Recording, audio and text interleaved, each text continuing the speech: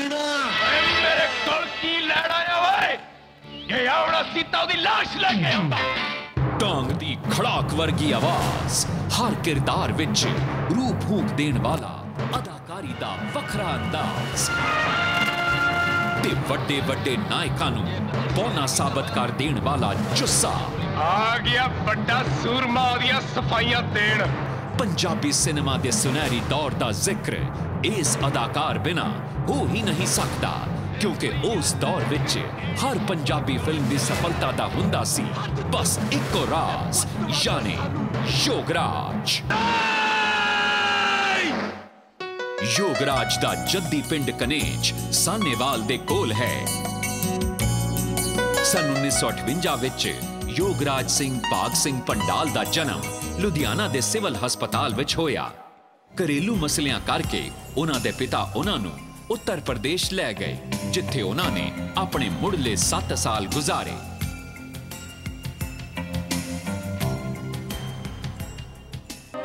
ਤੇ ਬਾਲ ਯੋਗਰਾਜ ਦਾ ਦਾਖਲਾ ਚੰਡੀਗੜ੍ਹ ਦੇ ਸੇਂਟ ਜੋਨ ਸਕੂਲ ਵਿੱਚ ਹੋਇਆ। ਸ਼ੁਰੂਆਤ ਵਿੱਚ ਯੋਗਰਾਜ ਨੇ ਐਥਲੀਟ ਬਣਨ ਦਾ ਸੁਪਨਾ ਵੇਖਿਆ, ਪਰ ਅੰਗਰੇਜ਼ੀ ਸਕੂਲ ਦੇ ਮਾਹੌਲ ਵਿੱਚ ਕੁਝ ਦੋਸਤਾਂ ਦੇ ਪ੍ਰਭਾਵ ਹੇਠ ਉਹਨਾਂ ਨੇ ਕ੍ਰਿਕਟ ਖੇਡਣੀ ਸ਼ੁਰੂ ਕੀਤੀ। ਮੈਂ ਸਮਝਦਾ ਖੁਦਾ ਦੀ ਬਖਸ਼ਿਸ਼ ਹੋਵੇ ਤਾਂ ਬੰਦੇ ਨੂੰ ਇੱਕ ਟੈਲੈਂਟ ਰੱਬ ਦਿੰਦਾ ਹੈ। ਜੇ ਬਹੁਤ ਜ਼ਿਆਦਾ ਬਖਸ਼ਿਸ਼ ਹੋਵੇ ਤਾਂ ਉਹਨੂੰ ਅਨਗਿਨਤ ਟੈਲੈਂਟ ਦਿੰਦਾ ਹੈ। ਅਹ, ਮੇਰਾ ਖਿਆਲ ਦੋਨੋਂ ਚੀਜ਼ਾਂ ਮੇਰੇ ਮਦਰ ਤੇ ਮੇਰੇ ਫਾਦਰ ਦੇ ਜੈਨੇਟਿਕ ਜੀਨਸ ਚੋਂ ਆਈਆਂ ਨੇ। ਇਹ ਯੋਗਰਾਜ ਦਾ ਜਨੂਨ ਹੀ ਸੀ ਕਿ ਉਸਨੇ ਆਪਣੀ ਪਹਿਲੀ ਪਛਾਣ ਭਾਰਤੀ ਟੀਮ ਦੇ ਕ੍ਰਿਕਟ ਖਿਡਾਰੀ ਵਜੋਂ ਬਣਾਈ।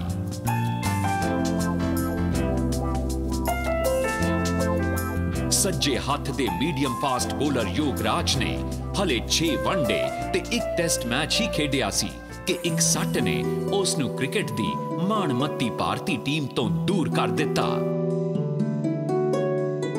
ਪਰ ਕ੍ਰਿਕਟ ਯੋਗਰਾਜ ਦਾ ਪਹਿਲਾ ਪਿਆਰ ਸੀ ਤੇ ਉਸਨੇ ਆਪਣੀ ਕ੍ਰਿਕਟ ਅਕੈਡਮੀ ਖੋਲ ਕੇ ਕਈ ਖਿਡਾਰੀਆਂ ਦੇ ਕ੍ਰਿਕਟ ਖੇਡਣ ਦੇ ਹੁਨਰ ਨੂੰ ਚਮਕਾਇਆ ਤੇ ਆਪ ਵੀ ਕ੍ਰਿਕਟ ਨਾਲ ਜੁੜਿਆ ਰਿਹਾ।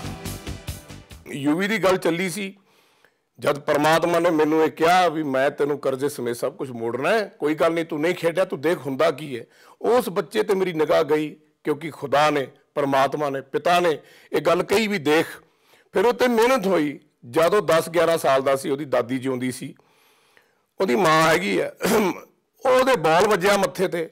ਉਹ ਡਿੱਗ ਪਿਆ, ਬੇਹੋਸ਼ ਹੋ ਗਿਆ, ਮੇਰੀ ਮਾਂ ਨੇ ਰੌਲਾ ਪਾਤਾ, ਤੂੰ ਮੇਰਾ ਪੋਤਾ ਮਾਰ ਦੇਣਾ ਸੀ, ਤੂੰ ਫਲਾਣਾ ਮਾਰ ਦੇਣਾ ਸੀ, ਜੇ ਮਰ ਗਿਆ ਹਾਈ ਕੀ ਹੋਊਗਾ? ਮੈਂ ਕਿਹਾ, ਮਾਤਾ, ਜੇ ਮਰ ਗਿਆ, ਇੱਕ ਹੋਰ ਜੰਮ ਲਾਂਗੇ, ਲੇਕਿਨ ਧਰਤੀ ਤੇ ਤੈਨੂੰ ਇਤਿਹਾਸ ਲਿਖ ਕੇ ਦਿਖਾਉਂਗਾ ਯੋਗਰਾਜ ਦੇ ਵੱਡੇ ਬੇਟੇ ਯੁਵਰਾਜ ਸਿੰਘ ਨੇ ਕ੍ਰਿਕਟ ਵਿੱਚ ਬੁਲੰਦੀ ਨੂੰ ਛੂ ਕੇ ਉਸ ਦੇ ਸੁਪਨੇ ਨੂੰ ਪੂਰਾ ਕੀਤਾ।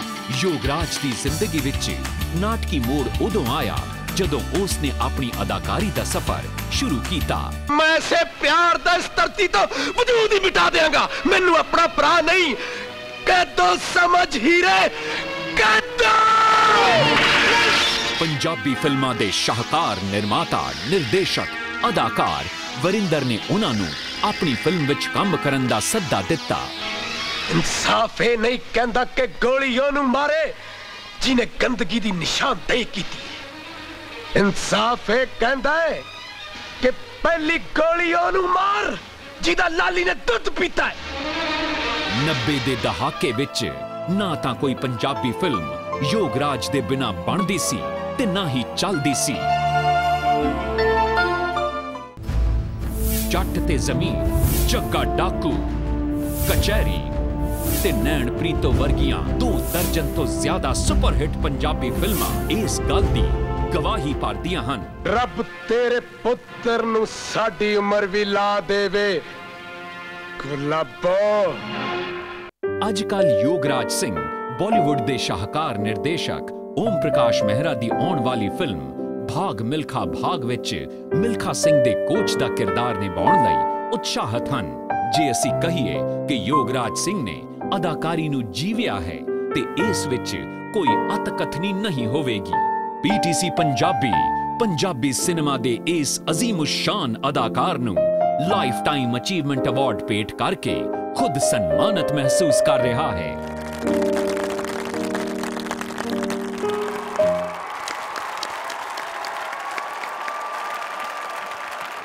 May I request Kulbhushan Kharbanda ji? Kulbhushan Kharbanda ji जोरदार खरबंदा जी। जोरदार ताड़ियाँ सर। ਮੈਂ ਰਿਕੁਐਸਟ ਕਰਾਂਗਾ ਯੋਗਰਾਜ ਸਿੰਘ ਜੀ ਨੂੰ।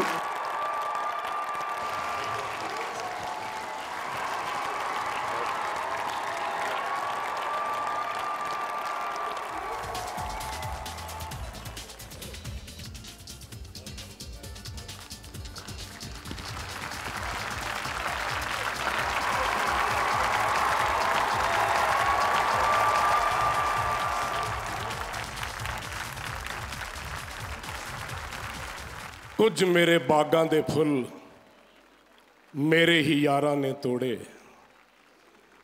ਕੁਝ ਲੈ ਗਏ ਮੇਰੀ ਹਿੱਕ ਚੀਰ ਕੇ। ਕੁਝ ਬਣ ਕੇ ਮੇਰੇ ਹਮਸਫਰ ਲੈ ਗਏ ਮੇਰੀ ਤਕਦੀਰ ਖਿੱਚ ਕੇ। ਲਹੂ ਲੋਹਾਨ ਕਰ ਦਿੱਤੀ ਮੇਰੀ ਰੂਹ ਦੀ ਚਿੱਟੀ ਚਾਦਰ। ਜਦ ਮੇਰੇ ਆਪਣਿਆਂ ਨੇ ਮਾਰੀ ਪਿਆਰ ਦੀ ਸ਼ਮਸ਼ੀਰ ਖਿੱਚ ਕੇ। ਮੈਂ ਜ਼ਿੰਦਗੀ 'ਚ ਸਮਝਦਾ ਸੀ ਕਿ ਬੰਦਾ ਇਕੱਲਾ ਸਫ਼ਰ ਤੈਅ ਨਹੀਂ ਕਰ ਸਕਦਾ।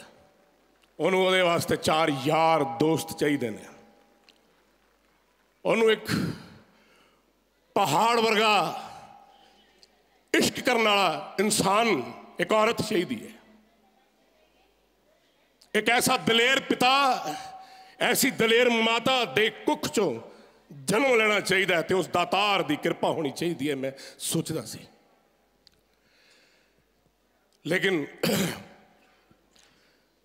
ਬੜੇ ਸਾਲਾਂ ਤੋਂ ਦਿਲ ਦੀ ਗੱਲ ਕਹਿਣ ਦਾ ਮੌਕਾ ਨਹੀਂ ਮਿਲਿਆ ਲੇਕਿਨ ਅੱਜ ਤੁਹਾਡੇ ਸਾਹਮਣੇ तमाम ਉਹ ਮੇਰੇ ਯਾਰ ਬੈਠੇ ਨੇ ਮੇਰੇ ਹਮਸਫਰ ਬੈਠੇ ਨੇ ਮੇਰੇ ਦੋਸਤ ਬੈਠੇ ਨੇ ਜਿਨ੍ਹਾਂ ਨੇ ਕਸਮਾਂ ਖਾ ਕੇ ਮੇਰੇ ਨਾਲ ਤੁਰਨ ਦੀ ਜੁਰਤ ਕੀਤੀ, ਕੋਸ਼ਿਸ਼ ਕੀਤੀ, ਲੇਕਿਨ ਕਹਿੰਦੇ ਨੇ ਕਿ ਜਦ ਬੰਦਾ ਤੂਫਾਨ ਦੀ ਰਫ਼ਤਾਰ ਨਾਲ ਚੱਲਦਾ ਹੋਵੇ, ਤਾਂ ਫਿਰ ਕੋਈ ਦੋ ਸਿਰਾਂ ਵਾਲਾ ਜੰਮੇਗੀ ਤੇ ਮੈਦਾਨ ਲਾ ਸਕਦਾ ਹੈ। ਉਹੀ ਚੱਲ ਸਕਦਾ ਨਾਲ, ਮੁੜ ਕੇ ਦੇਖਿਆ ਨਾ ਖੱਬੇ ਕੋਈ, ਨਾ ਸੱਜੇ ਕੋਈ, ਰਹਿ ਗਿਆ ਮੈਂ ਕੱਲਾ ਅੱਜ ਤੁਹਾਡੇ ਨਾਲ। ਲੇਕਿਨ ਮੈਂ ਹਮੇਸ਼ਾ ਇਹ ਸੋਚਦਾ ਸੀ, ਮੇਰੀ ਹਮੇਸ਼ਾ ਇਹ ਸੋਚ ਸੀ, ਸਰ, ਕਿ ਮੈਂ ਕੁਝ ਜ਼ਿੰਦਗੀ 'ਚ ਐਸਾ ਕਰਾਂ ਜੋ ਮੈਂ ਆਪਣੇ ਮਾਤਾ ਪਿਤਾ ਨੂੰ ਅਰਪਣ ਕਰਾਂ ਇਹ ਹੱਥਾਂ ਨੇ तमाम ਜ਼ਿੰਦਗੀਆਂ ਬਣਾਈਆਂ ਕ੍ਰਿਕਟ ਦੇ ਮੈਦਾਨ ਤੋਂ ਲੈ ਕੇ ਫਿਲਮ ਇੰਡਸਟਰੀ ਤੱਕ ਜੋ ਮਿਲਿਆ ਉਹਨੂੰ ਸੱਜਣ ਸਮਝ ਲਿਆ ਜਿਹਨੇ ਪਿਆਰ ਨਾਲ ਬੁਲਾਇਆ ਉਹਨੂੰ ਹਿੱਕ ਨਾਲ ਲਾ ਲਿਆ ਲੇਕਿਨ ਚਲਦੇ ਚਲਦੇ ਜਦ ਇਸ ਕੰਪੀਟੀਸ਼ਨ ਦੇ ਦੌੜ 'ਚ ਬੰਦਾ ਦੌੜਦਾ ਹੈ ਧਰਮ ਭਾਜੀ ਨੇ ਬੜੀ ਕਮਾਲ ਦੀ ਗੱਲ ਕੀਤੀ ਸੀ ਕਿ ਕੱਟ ਥਰੋਟ ਇੰਡਸਟਰੀ ਹੈ ਕੱਟ ਥਰੋਟ ਇੰਡਸਟਰੀ ਨਹੀਂ ਹੈ। ਕੱਟ ਥਰੋਟ ਜ਼ਿੰਦਗੀ ਹੈ। ਨਾ ਜਿਹਦੇ ਵਿੱਚ ਕੋਈ ਸੱਜਣ ਹੈ, ਨਾ ਕੋਈ ਮੀਤ ਹੈ। ਸਿਰਫ ਤੇ ਸਿਰਫ ਖੁਦਾ ਤੇ ਖੁਦਾ ਦਾ ਸਹਾਰਾ ਹੈ ਤੇ ਬੰਦਾ ਇਕੱਲਾ ਚੱਲਦਾ ਹੈ। ਔਰ ਬੰਦੇ ਨੂੰ ਜੇ ਜੀਣਾ ਹੈ ਤੁਹਾਨੂੰ ਪਹਾੜ ਵਰਗਾ ਬਣ ਕੇ ਰਹਿਣਾ ਚਾਹੀਦਾ ਹੈ। ਆ ਅਵਾਰਡ ਬੜੇ ਬੜੇ ਕ੍ਰਿਕਟਰ ਬਣੇ। ਬੜੇ ਬੜੇ ਲੋਕਾਂ ਨੂੰ ਫਿਲਮ ਇੰਡਸਟਰੀ 'ਚ ਲਿਆਂਦਾ। ਸੱਜਣ ਬਣਾ ਕੇ ਬੜੇ ਬੜੇ ਲੋਕਾਂ ਵਾਸਤੇ ਕੁਰਬਾਨੀਆਂ ਦਿੱਤੀਆਂ, ਯਾਰੀ ਨਿਭਾਈ, ਦੋਸਤੀ ਨਿਭਾਈ, ਸਭ ਕੁਝ ਕੀਤਾ। ਲੇਕਿਨ ਉਸ ਮਾਤਾ ਪਿਤਾ ਵਾਸਤੇ ਕੁਝ ਨਹੀਂ ਕੀਤਾ, ਜਿਨ੍ਹਾਂ ਨੇ ਜਨਮ ਦਿੱਤਾ ਸੀ। ਮੇਰੇ ਪਿਤਾ ਜੀ ਇਸ ਦੁਨੀਆ ਤੋਂ ਚਲੇ ਗਏ। ਮੈਂ ਕਦੇ ਸੋਚਦਾ ਸੀ ਮੈਂ ਆਪਣੇ ਮਾਤਾ ਪਿਤਾ ਵਾਸਤੇ ਕੁਝ ਐਸੀ ਚੀਜ਼ ਕਰਾਂਗਾ ਕਿ ਜਿੱਥੇ ਮੇਰੀ ਮਾਂ ਤੇ ਮੇਰਾ ਪਿਓ ਬੈਠਾ ਹੋਵੇਗਾ। ਔਰ ਉਹ ਫਕਰ ਨਾ ਕਹਿਣਗੇ, ਯੋਗਰਾਜ ਸਿੰਘ, ਸਾਡਾ ਬੇਟਾ ਹੈ। ਹੀ ਇਜ਼ ਆਵਰ ਸਨ ਲੇਕਿਨ ਇਦਾਂ ਨਹੀਂ ਹੋਇਆ। ਮੈਂ ਅੱਜ ਦਿਲ ਦੀ ਗੱਲ ਕਰ ਰਿਹਾ ਕਿਉਂਕਿ ਮੈਂ ਸਿਰਫ ਤੇ ਸਿਰਫ ਇੱਥੋਂ ਬੋਲਦਾ। ਅੱਜ ਮੇਰਾ ਬੇਟਾ ਹਸਪੀਟਲ 'ਚ ਹੈ, ਕੋਈ ਗੱਲ ਨਹੀਂ, ਸ਼ੇਰ ਦਾ ਬੱਚਾ ਹੈ। ਤੁਹਾਡੀਆਂ ਸਾਰੀਆਂ ਦੁਆਵਾਂ ਹੈ। ਲੇਕਿਨ ਇੱਕ ਸ਼ਿਕਾਇਤ ਤੁਹਾਡਾ ਯੁਵਰਾਜ ਨਾਲ ਮੈਨੂੰ ਹੈ। ਕਿਉਂਕਿ ਨਾ ਮੇਰਾ ਬੇਟਾ ਹੈ, ਉਹ ਤੁਹਾਡਾ ਬੇਟਾ, ਤੁਹਾਡਾ ਭਰਾ ਹਿੰਦੁਸਤਾਨ ਦਾ, ਦੁਨੀਆ ਦਾ। ਮੇਰਾ ਨਹੀਂ ਕੁਝ ਲੱਗਦਾ, ਇਹ ਸਭ ਦਾ ਹੈ। ਲੇਕਿਨ ਇੱਕ ਗੱਲ ਮੈਂ ਪੁੱਛਣਾ ਚਾਹੁੰਦਾ ਕਿ ਉਸ ਪੁੱਤ ਨੇ ਕਦੇ ਜ਼ਿੰਦਗੀ ਵਿੱਚ ਆਪਣੇ ਦਾਦੇ ਤੇ ਦਾਦੀ ਦਾ ਨਾਂ ਨਹੀਂ ਲਿਆ ਲੇਕਿਨ ਅੱਜ ਮੈਂ ਸਰਦਾਰ ਭਾਗ ਸਿੰਘ ਦਾ ਬੇਟਾ ਇਹ ਫਕਰ ਨਾਲ ਕਹਿੰਦਾ ਮਾਈ ਡੀਅਰ ਪੇਰੈਂਟਸ ਮੇਰੇ ਮਾਤਾ ਪਿਤਾ ਪੂਜਨੇ this is for you I love you I love you, my mom. I love you, my dad. The day I die, you'll be ਮੇਰੀ ਇੱਕੋ ਹੀ ਤਮੰਨਾ ਹੈ, ਇੱਕ ਹੱਥ 'ਚ ਆ ਹੈ ਮਰਨ ਤੋਂ ਪਹਿਲਾਂ ਜਾਣ ਤੋਂ ਪਹਿਲਾਂ ਮੈਂ ਜ਼ਿੰਦਗੀ 'ਚ ਫਿਲਮ ਫੇਅਰ ਅਵਾਰਡ ਜਿੱਤਣਾ ਚਾਹੁੰਦਾ ਬੰਬੇ 'ਚ ਮੇਰੀ ਦੁਆ ਕਰਨਾ ਜਦੋਂ ਮੇਰੇ ਹੱਥ 'ਚ ਹੋਵੇਗਾ ਮੈਂ ਸਮਝਾਂਗਾ ਮੇਰਾ ਸਫ਼ਰ ਪੂਰਾ ਹੋ ਗਿਆ ਮੈਂ ਆਪਣੇ ਮਾਪੇ ਨੂੰ ਸ਼ਰਧਾਂਜਲੀ ਦੇ ਦਿੱਤੀ thank you Thank you so much. I love you all. Thank you, sir. Thank you. Thank you sir thank you thank you sir